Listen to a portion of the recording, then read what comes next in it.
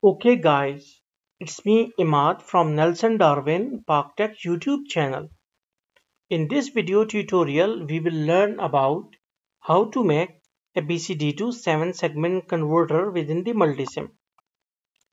For it, we are using a CMOS IC that is 74LS47. So let's start our circuit. First, we need to go to our CMOS and then in all groups. And here we need to write here 74ls47 like a 74lsn47 and we got around four displays so we, we can take the second one. Okay now this is our converter IC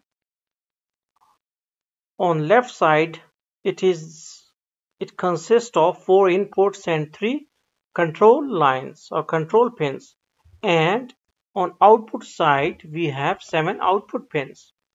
On these output pins we can attach our seven segment display. But kept in mind that it do not use to work with common cathode so you must have to go for common anode display. So we will search for common anode display here it is saying common anode okay so we can take yellow one okay? You can choose any color of your own choice. Okay now we need to connect its pin number a with 13 and b with 12 and so on like c with 11 and d with 10 and like this. So e with 9 and the last with 14 also we can connect the common anode pin with the VCC so we can go for our VCC okay we will press ok and here we will put VCC okay.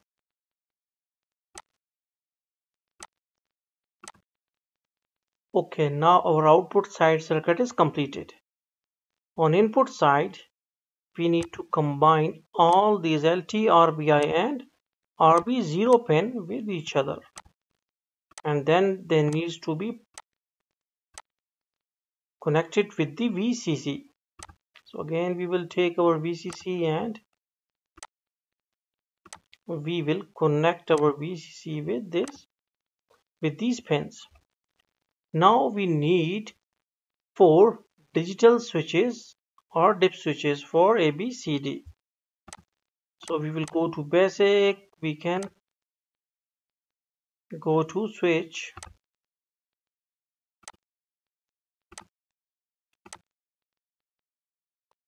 okay now first we will place first switch and then second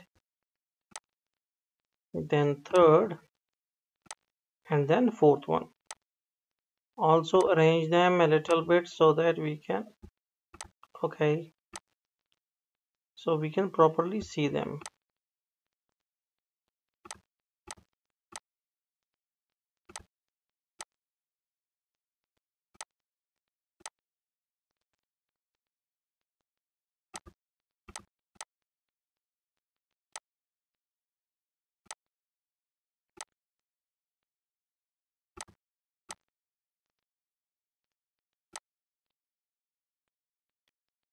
okay now we need to arrange them properly so that we can properly see it. All the left side of the pins must be connected with each other.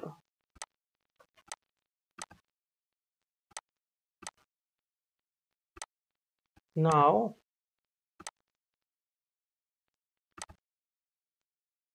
okay and also VCC okay now all the left side pins are connected with the VCC and right side outputs must be with the switches dip switches. So we will get the binary data in with the help of these switches that is digital input. So what will happen that uh, there are uh, there is a truth table for all these binary combinations that is 0000 and 0001 0 means if a switch is open and if the switch is closed we will consider it as 1 okay now run it out. It can take 5 to 6 seconds to simulate. So wait uh, until it starts. Okay now it started.